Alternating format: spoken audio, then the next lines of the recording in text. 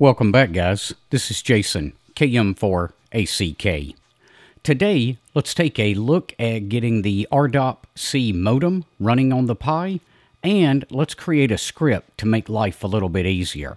Even if you've seen the original series that I did on this, you'll want to watch this one, as it's got a lot of new information. Stick around, and we'll get right to it.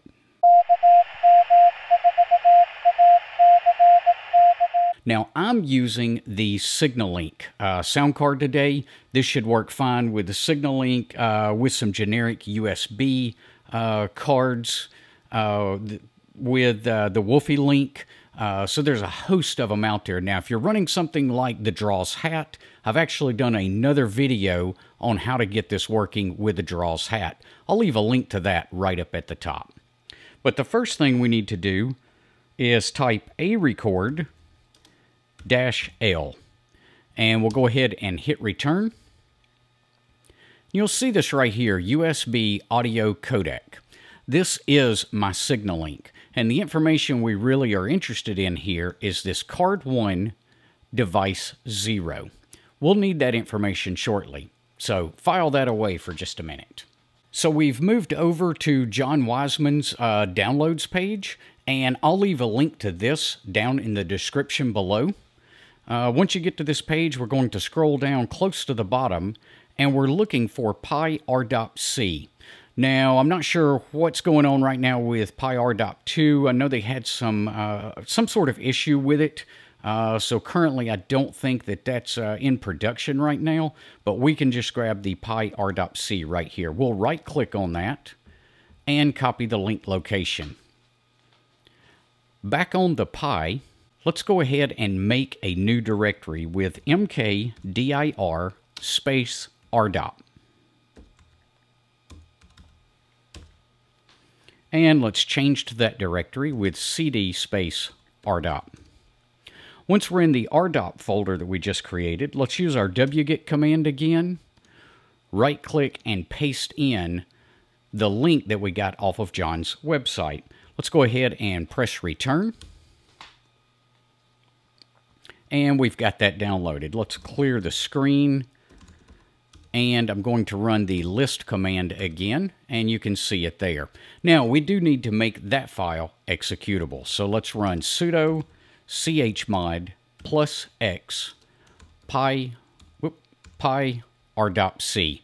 Press return, and if we run the uh, ls command again, you'll see that it's now in green, indicating that it's executable. Okay, now we can go ahead and start the Pi ARDOP-C modem. So we will use dot forward slash Pi ARDOP-C space 8515, and that is just a port number that we'll use to communicate. We'll give it another space. We'll say plug HW colon 1 comma 0. Now, this 1 comma 0 comes from our arecord-l command that we ran earlier. So the 1 is the card number and the 0 is the device number. We'll give it a space and we're going to repeat that information again. So plug HW colon 1 comma 0 again. We'll go ahead and hit return. Give that just a couple of seconds. You'll notice that it says ARDOP-C is listening on port 8515. So that's the way Pat is going to communicate with it. Now let's go ahead and try to make our first connection. But hey, we need to find a station to connect to. So let's head over to winlink.org. Once you're on the winlink.org website, I'm going to click on Tools, and I'm going to tell it that it can use my location. Uh, once we see the map here, let's select ARDOP right here, and that'll filter out all the stations except the ARDOP stations and I typically have pretty good luck connecting to K0SI, but let's do it on 40 meters. So the frequency we need to connect to is 7103.5. Uh, now we've got to subtract 1.5 kilohertz from this, so the actual dial frequency on the radio is 7102.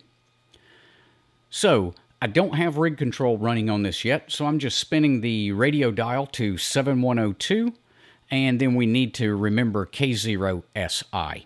All right, but head back to the Pi, and we'll click Action and Connect. Right here in our transport, we're going to choose ARDOP. We're going to enter the call sign K0SI. And that's the only thing. We're not going to mess with the frequency right here or radio only. This is the only two bits of information we're going to use. And let's go ahead and press the connect button. Now, once you do that, you can watch down here in this black box to see if the connection is made. And if you're a little bit more inquisitive, you can actually watch uh, the terminal window where you started the Pi R.C modem. Back over here in the PAT mailbox, you can see that we've started connecting to that station in Missouri. Okay, and once your connection finishes up, uh, back in the R.C window where you started the R, uh, Pi R.C modem, let's press Control C to go ahead and terminate the modem. Let's make it a little bit easier to start the ARDOP modem. So first let's move into the ARDOP directory with cd space ARDOP. And then let's say nano, N-A-N-O, and let's say start dash r dot. All right, and it's going to tell you right down here at the bottom, you're in a new file. What we're going to do is we're going to create a script really fast so that we can put a icon on our desktop that we can just double click. So we'll use pound exclamation point forward slash bin forward slash bash. And all that does is that tells uh, the system that this is a bash script when we try to run it. But we have to have that line in order for things to work correctly. And then I'm going to leave a comment up top, start ARDOP modem. And then, because I do it every time, I'm going to date this and put my call sign. Well, if I can get anything right today. All right, now we'll give it a couple of blank lines and let's go ahead and type out the path to our file. So forward slash home forward slash. This, uh, this line here after this forward slash will be your Linux username. Remember, in my case, I'm still at the default Pi, but if you've changed it, you'll need to change it here as well. And then we're, uh, this is going to be in the ARDOP directory that we created.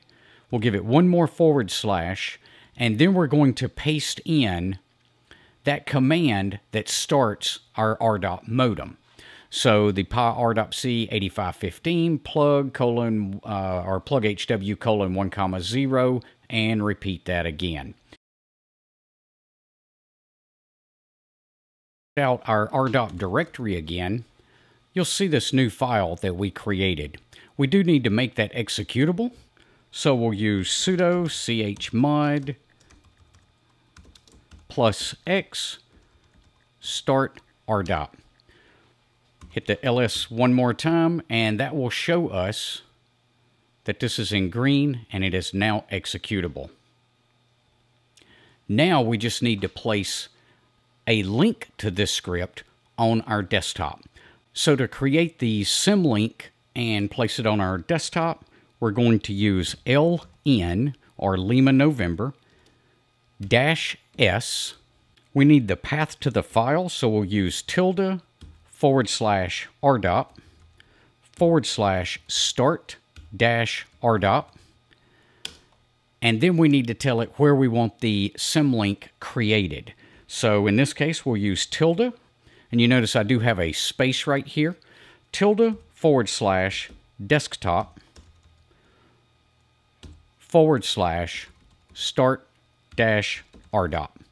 We'll go ahead and hit return. And you'll notice that that new link popped up over here on our desktop.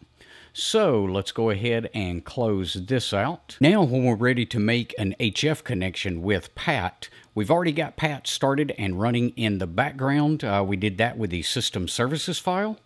Now all we have to do is double click on this icon that we created and click execute in terminal it'll go ahead and open the window and you'll see that ARDOP is now listening on port 8515. At this point, we can go ahead and go back to the PAT window. Let me click my refresh button here. And you can see that we're up and ready to make a connection. Now we can just go ahead and start with our new connection. Be sure to give us a thumbs up before you head off, and we will see you guys on the next video. Until then, 7-3.